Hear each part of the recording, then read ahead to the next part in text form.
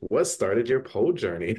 In a nutshell, I wanted to take adult dance classes in Orlando, um, and they were really expensive. And so I thought, well, if I got a job at a studio, then I can like take the classes. And so I went to audition at a ballet studio in town, and there was a woman there who was teaching a like cardio striptease aerobics class. And this was in 2005. So we're talking like no pole studios, right?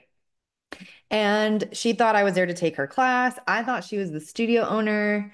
Long story short, she tells me she's getting ready to open up her own facility with dance poles. And would I be interested in coming to work for her? And I said, Well, I've never been on a pole before, but I was a gymnast. And, um, you know, I, I'm here to interview to be a dance instructor. So um, you can teach me maybe.